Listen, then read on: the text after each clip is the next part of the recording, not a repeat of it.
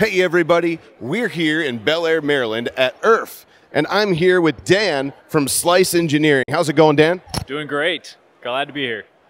Awesome. So, we were just talking before we started filming, and you got something that's really cool going on here. Can you tell me what this is? Absolutely. So, this is a thermal camera setup, and uh, basically what we're showing off is our Mosquito hot end.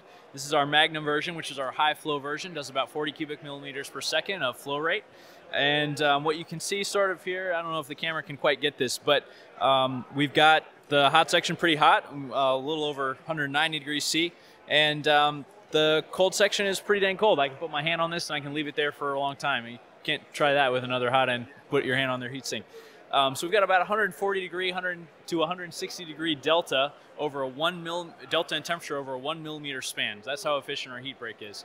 So our heat break conducts 80% less heat upwards through the filament path than uh, than a standard heat break. So we've got uh, a wide variety of different ways that you can mount the Mosquito to different printers.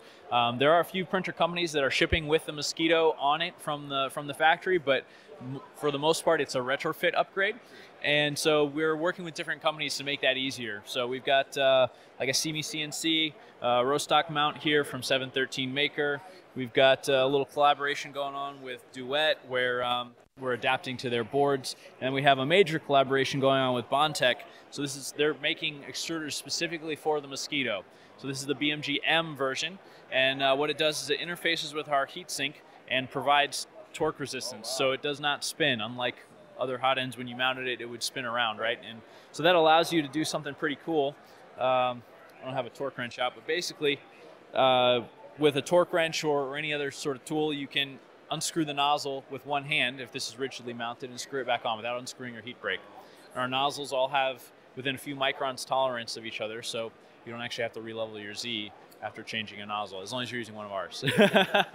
nice, and I and so you you got to use on the mosquito. You have to use the mosquito nozzles, right? Uh, or you should use the mosquito. We we're RepRap compatible, so you can't use other people's nozzles as long as it's an M6 thread, 12 and a half overall length, and uh, seven millimeter threaded length. So that's the RepRap style. So E3D does those. Um, so we're compatible with with any RepRap style nozzle, but obviously we'd love you to buy ours. So it looks like we got some uh, parts. This all must be mosquito parts, right? Um, I was joking around earlier that we had some uh, spray for the mosquito problem, but we'll, that's another thing. But uh, so so it looks like you're selling some nozzles and some fans. So what what I see here is if something goes wrong with your mosquito, it looks like you can buy parts to fix it pretty much without buying the whole thing again, yeah. right?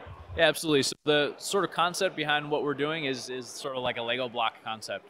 So if uh, something breaks, you can swap in the next part, and, and everything in our system is pretty modular. So uh, even like uh, the difference between our, our high flow Magnum and, and the standard Mosquito, you literally just have to swap the heat break and get an insulator, and you can upgrade from your standard Mosquito to your Magnum if you wanted to start printing higher flow flow rates. That's really cool. So I could actually go basically have two different hot ends essentially between those two and just swap a couple parts out. Yeah. That's really cool. Uh, we have some really cool stuff on the table. Anything coming up that we should know about? Yeah, so you can tell us about, I should say. so what we've got here is uh, is a, a, silicone boot. It's a platinum cured silicone, so we're calling it a boot because it's a little sturdier than uh, than what other people are making. But this is in pre-production. We just finished beta testing, and so we'll be launching these uh, pretty soon for people that want to improve that bridging performance, right? So if you got a lot of part cooling air flowing and you don't want to cool the hot block, you want to get that instant bridging performance, that's coming out pretty soon.